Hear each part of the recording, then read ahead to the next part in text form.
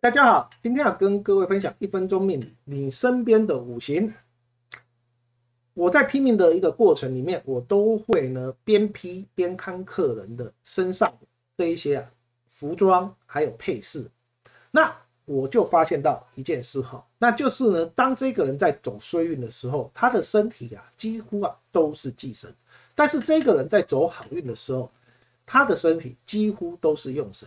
所以其实呢，你身边的五行在某种程度上是可以帮助你的运势变好的。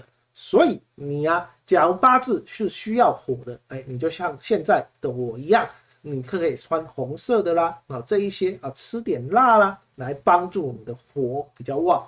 那所以呢，呃，你就记得一件事啊，用神多用在你自己身上。那忌神呢，你就尽量的离他远一点。那这样子呢？就可以在某种程度上让你的运势呢是可以往上提升的，那这样衰运就不至于太衰，那好运可以多加几分。